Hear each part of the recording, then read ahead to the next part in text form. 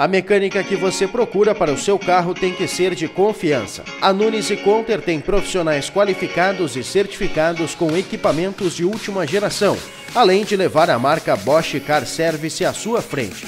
Precisou de mecânica? Nunes e Conter, na rua João Pessoa, número 933.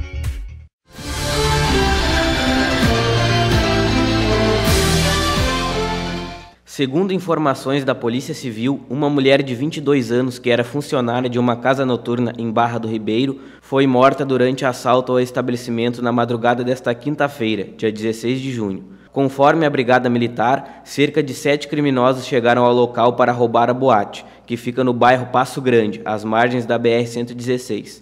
Os bandidos invadiram o local, que, segundo a polícia, funcionava como uma casa de prostituição, e renderam funcionários e clientes. Depois, obrigaram as vítimas a entrar em uma sala. Um policial militar que mora ao lado do estabelecimento percebeu a ação e tentou intervir, trocando tiros com um dos assaltantes que havia ficado do lado de fora, fazendo segurança aos demais criminosos.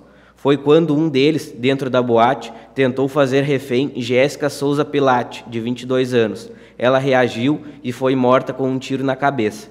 Após a ação, os bandidos entraram em três carros, um Toyota Corolla, um Gol e um outro ainda não identificado. Na fuga, próximo a Guaíba, uma guarnição da BM se deparou com um dos carros e trocou tiros com os criminosos, mas eles fugiram com pertence das vítimas.